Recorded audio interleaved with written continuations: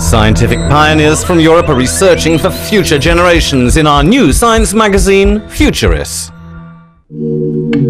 The sun has been shining for several billion years and will shine for several more. It provides Earth with solar power and makes life possible. In the upcoming decades, scientists are hoping to copy the energy source of the sun here on Earth in so-called fusion reactors. Cadarache in southeastern France, not far from Aix-en-Provence. It's here in the hills north of Marseille where ITER is going to be built by the European Union and six partner countries after years of political and environmental controversy. That whole process is taking about 10 years uh, from now. Uh, in about 10 years' time, we hope to have our first experiments on the machine. From 2009 onward, the huge reactor hall will be erected here, with 17 buildings around it. Inside the circular reactor chamber, a so-called tokamak will be assembled from oval elements surrounded by superconducting magnets. It's in this tire-like tube that a superhot plasma of hydrogen particles is intended to be created for fusion at temperatures 10 times hotter than the sun.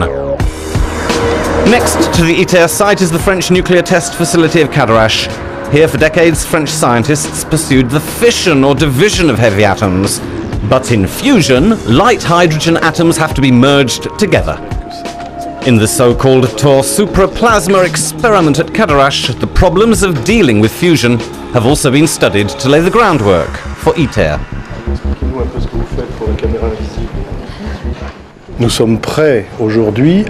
Today we are ready to construct ITER. That means that the technologies for it have been developed by Tore Supra in order to create this prototype. From fusion test sites all over the world, research results are now being brought together to build ITER. In the research centre in Garching, next to Munich in Germany, Italian physicist Gianfranco Federici is working with fusion experts like Vladimir Barabash from Russia and Kimihiro Ioki from Japan towards building ITER. In the autumn, they move to Cadarache like hundreds of other scientists and engineers from all over the world. At the Institute of Plasma Physics, Gianfranco Federici spent years experimenting with different designs and materials for ITER. At the moment, he's testing combinations of beryllium, carbon or tungsten for their later use in the wall of the fusion chamber. Tungsten is a material which is very heavy in comparison with beryllium or graphite, but it has an advantage that there's a high melting point, so it can hold a lot of power deposited onto it, plus is not eroded as easily as other material. So it's a very promising material from the point of view of reactor development. The problem with tungsten is just the tiny bit of tungsten might pollute the plasma and may degrade the performance of plasma.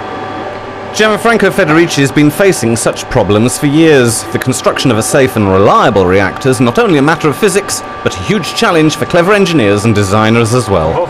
Together with German physicist Joachim Roth, he's trying to find the right combination of materials and design. The wall not only has to resist the extreme heat in the plasma chamber, but also must not absorb the heavy hydrogen, deuterium and tritium used as fuel for the fusion. This is a typical tile from a fusion experiment. We're researching basically how much deuterium has condensed here in the experiment. This is very important in order to know how much of the radioactive tritium is being withheld in ITER. In such plasma experiments, scientists try to find out which materials and designs help to reduce these problems. Also, new ways to sufficiently heat up the hydrogen fuel still need to be developed for the fusion process to start. So far, for example, heating methods like those used in the European fusion test site JET in Culham in Britain are still not enough to create a fusion process for longer than a few seconds. Physicist Ursel Fantz and her team are searching for ways to heat the plasma with high-speed neutral hydrogen particles. We've reached the physical levels for this process, so we're confident that it works. But of course, we've still not yet reached the dimension that's necessary for ITER. At the moment, we can heat the plasma only for a few minutes, but at least one hour will be necessary. In the Sun, huge gravitational forces make fusion possible at temperatures of more than 12 million degrees, releasing enormous amounts of energy into space.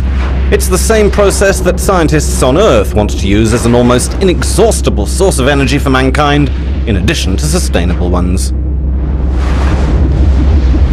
The fusion reactions working with deuterium and tritium atomic cores that merge together and thereby release energy in the form of high-speed neutrons.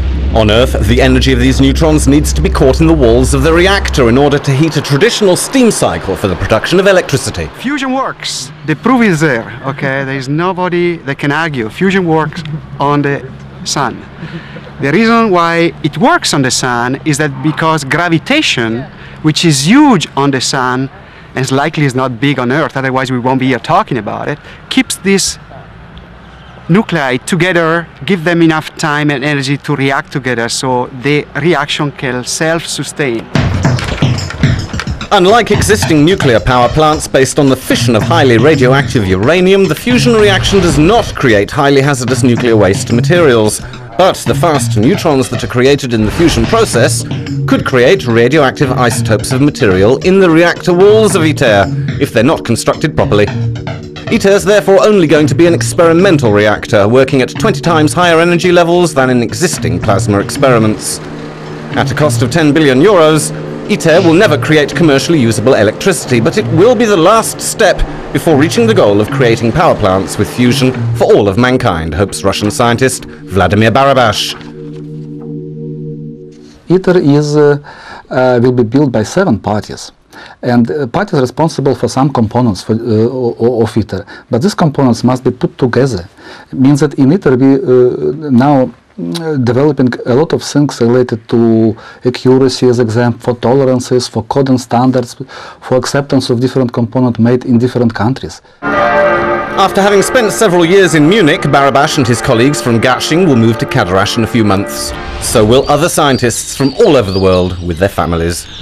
In the upcoming years, they'll not only be challenged by the construction of ITER, they'll also have to cooperate in an international team in an almost unprecedented scientific endeavour you could imagine that uh, uh, with participation of such many many countries, and also the way we organize uh, the the collaboration is quite unique, and also this type uh, form of collaboration could be a good precedent for other any kind of uh, international collaboration. In 2016, ITER partners and politicians hope to begin with fusion tests here on the hills of Cadarache, but it's probably not until 2035 that a functioning fusion reactor will produce the energy of the sun for future generations on Earth.